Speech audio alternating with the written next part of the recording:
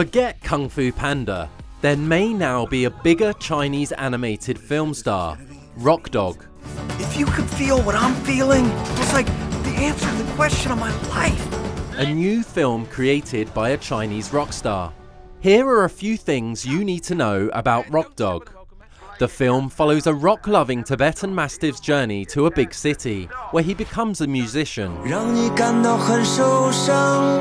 And the creator, Zhang Jun, is a rock star himself, becoming famous in the mid 1990s.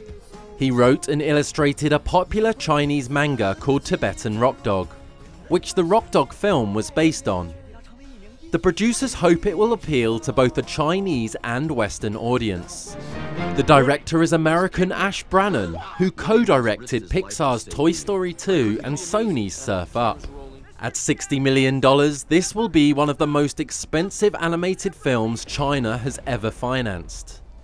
An average Chinese animated film usually takes no more than a couple of million dollars to make.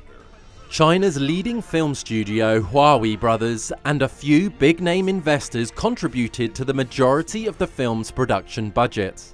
China is believed to become the world's biggest film market by 2017, and with Hollywood's help with Rock Dog, it might just take off. The film is expected to be released in mainland China on July the 8th.